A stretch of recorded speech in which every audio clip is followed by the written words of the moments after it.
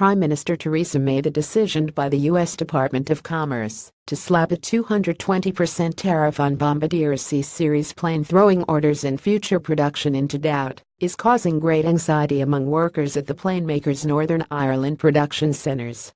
Up to 1,000 workers are involved in the C-Series wing manufacture, but such is the pivotal position the plane holds in the company's fortunes all 4,500 workers here will face the coming months with trepidation until a final decision on the action by Boeing against Bombardier is taken.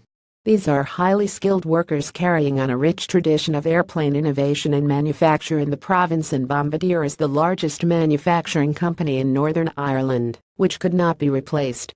The local workers are also the potential collateral damage in a row between two aerospace companies, and two countries the US and Canada with an often difficult trading relationship.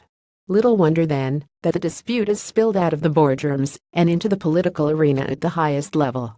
Prime Minister Theresa May, mindful of her reliance on the DUP to remain in power, has made representations to the White House on behalf of the company's interests here, and Defense Secretary Sir Michael Fallon warned Boeing that its behavior could jeopardize future relationships with the UK but it should be pointed out that some 16,500 jobs in the UK rely on the Boeing supply chain. The company provides military aircraft, and the UK sees the US as a prime trading partner when Brexit finally happens. Those are serious pressure points on the UK government and will be a significant stress test of the strength of the DUP's influence with the May administration.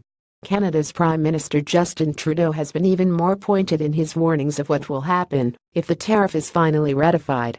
It could lead to the cancellation of an order for military helicopters from Boeing, but it is doubtful if Britain would be as willing to jeopardize its military capabilities. It does not help our case that there is no functioning executive at Stormont.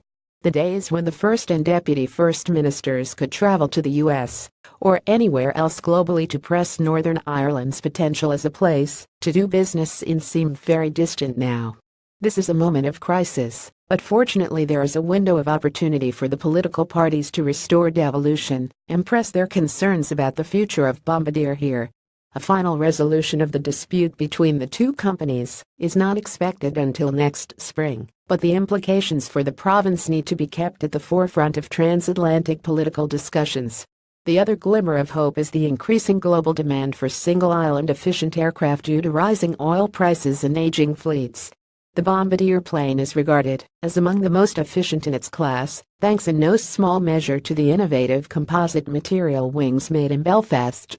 The company may face a period of turbulence, but it could ride out the storm providing that the current punitive tariffs, which would triple the cost of its planes, is either overturned or greatly mitigated. This is one battle which the company and Northern Ireland cannot afford to lose. Otherwise our economy could be facing a crash landing. Belfast Telegraph